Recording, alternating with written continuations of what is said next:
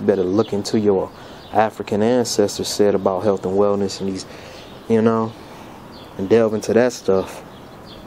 Then, with that knowledge, you apply that into your life through actions every single day to cut harmful things that's bad for you out of your life, that's self destructive, and put better things for your body, healthier things from your body. And then, you know, begin to exercise and stay consistent through your actions, discipline. And you will achieve whatever that goal was. To lose weight, you will achieve that. That's how you do it. You want to keep it off, you got to stay consistent about what you've done to keep it off and don't go backwards. You can enjoy your life, but don't go backwards. Then you're going to be fighting back like fuck. You can do it though, you know. Stuff happens, you know. We get busy. But if you notice that, like, oh wait a minute, I gained a little bit extra weight, that ain't shit. You can you can fix it. Cause you know the formula, you've done it before. And you will do it again. If that's what you want to achieve. No worries. So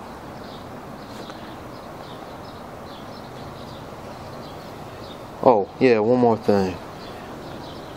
Back to what I was saying about giving something up. Now, giving something up. That could be a habit, that could be a thought basis, ideology, that could be a belief, that could be giving up something you was taught, giving it up in order to achieve what you truly desire. If you seek a knowledge of self, you want to have knowledge of the world too, but that's all self knowledge as well.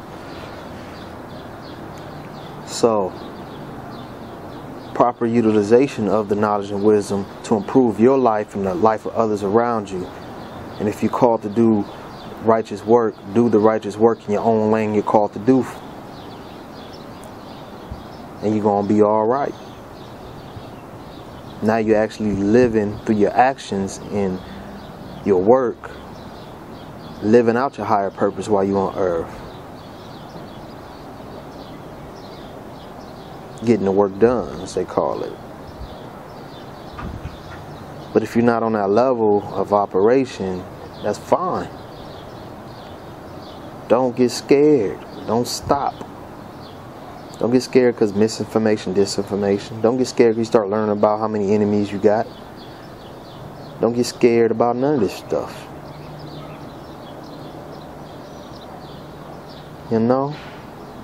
Run self checks and balances often. All progression you made, checks and balances, see where you at, see what you've been doing, checks and balances. I don't care if you just started or been doing it for a while. Checks and balances. Make sure you know stuff don't slip in. You know, you start doing things you used to do that ain't cool that you thought you purged yourself and deprogrammed yourself. That's backsliding or straying off the path, going backwards. But if you notice that, okay, you notice that. Now you got an understanding of that.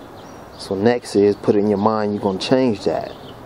Then have your actions line up with your your mind or your thoughts in your mind and begin immediately as soon as you can begin to do the necessary steps to turn it around and go back in the right direction. My example. Quick example. met a brother from the East Coast, boasting and bragging. I'm not disrespecting the East Coast. I just live on the West Coast. He came out here. He's from the East Coast. None of that East Coast, West Coast. Ain't nobody better than this. We got more. Ain't none of that bullshit going on with this. Listen to the fucking story. Look, he came out from the East Coast, boasting and bragging. He's raised into the knowledge and wisdom and understanding. He's. This is what I've been raised since birth.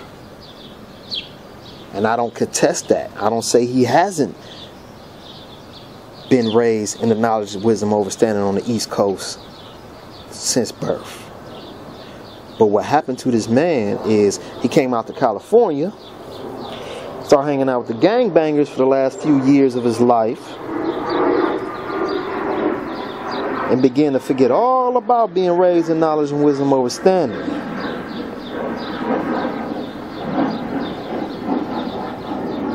Start doing with what the gangsters do out here, you know, hanging out doing their thing. Veering off your life path. Because if you blessed with knowledge, wisdom, understanding, you have responsibility and that scares the fuck out of people. Taking responsibility for what the fuck you know. You must take responsibility for that.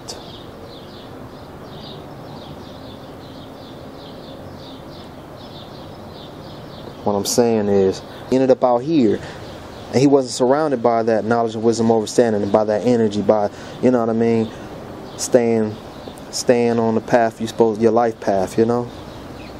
He didn't have that surrounding, that motivation, you know, and he didn't have it strong enough within himself to resist being around certain type of people and then becoming like them, which is easy for us to do you know, easy for us to do. Maybe some people, not so easy, but for others, yeah, it's easy to do. But if you run a self check and you notice that, and somebody told you that, and you notice that's the truth, because I told that man what I need to tell him. It's up to him now to take that knowledge and wisdom that he already know run a self check, and start fixing some shit in his motherfucking life and get back on his right life path. You know? Have powerful names. Got African names. But only thing that you're talking about and only music that you're playing is on that hood shit. Okay. So, if you want to grow, there's always something you got to X out your life, something you got to give up, something that you've been doing, something that you've been saying, something that you've been, you know what I mean, watching. I don't know. It's something you got to give up that was harmful for you or not beneficial for your life growth in order to achieve your life higher purpose. But you ain't you ain't giving up shit that ain't nothing. You ain't giving up nothing that ain't. It's just fucking baggage. Okay, that's all the fuck you giving up is baggage. You ain't giving up shit. Fucking baggage. Because when you move in the right direction, you will be given.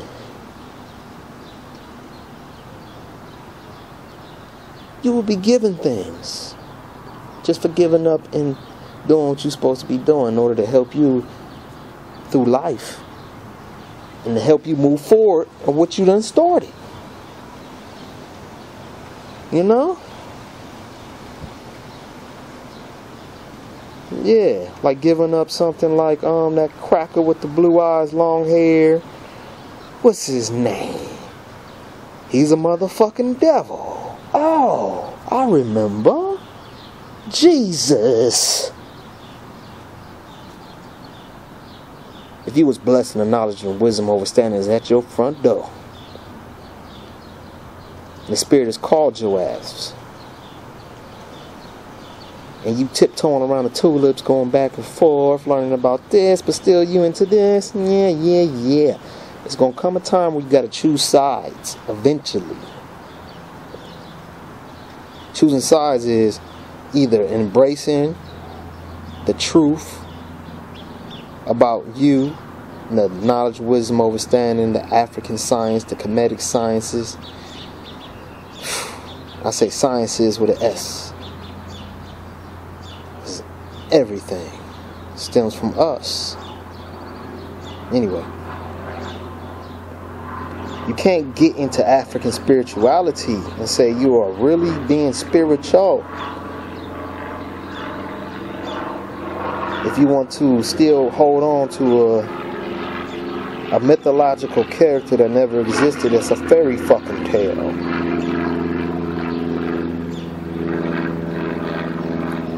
You cannot hold on to the bullshit and hold on to the truth with your other hand. If you expect to grow past the level you're on, you have to get in tune with your divine judgment. Get in tune with your spirit guides. Have them help you lead you in the right direction. Trust your intuition because it will come up and it will come there in your life and if you can choose to ignore it or you can choose to embrace it when it comes into your life.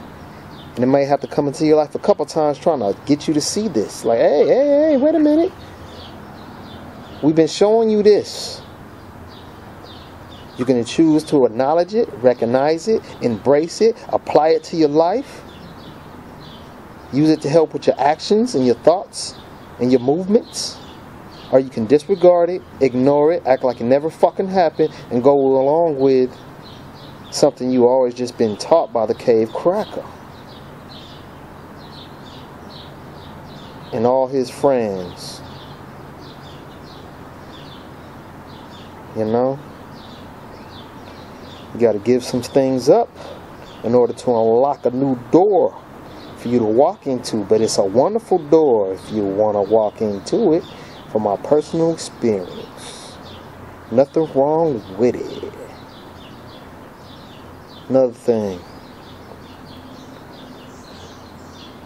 When you delving into the knowledge and the wisdom,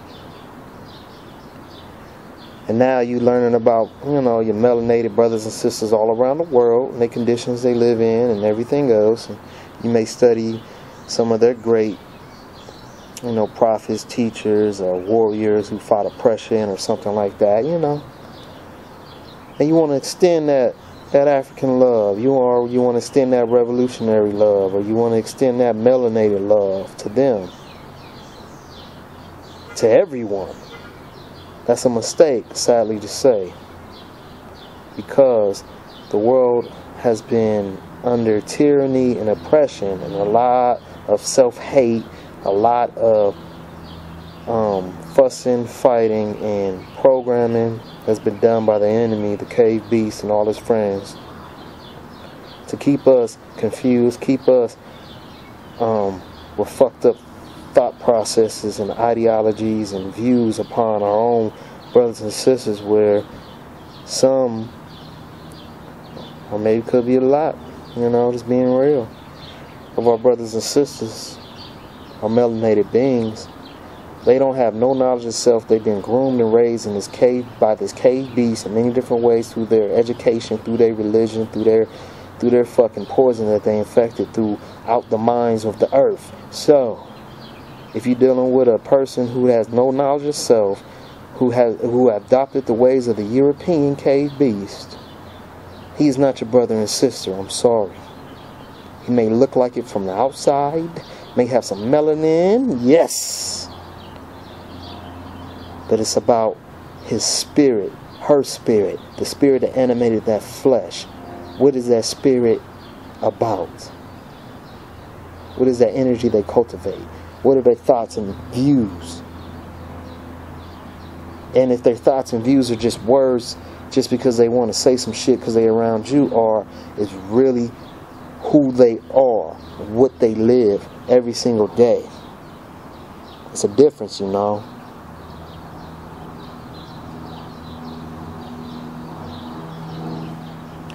So you can't extend your divine love, respect, try to build and cultivate